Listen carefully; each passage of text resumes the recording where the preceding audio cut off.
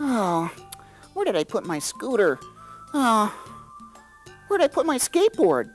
I don't know where I put it. Maybe I put my scooter with my skateboard. That's it. I'll just find my skateboard. Where did I put my skateboard? Here's a fun little boy for a classic ventriloquist style routine.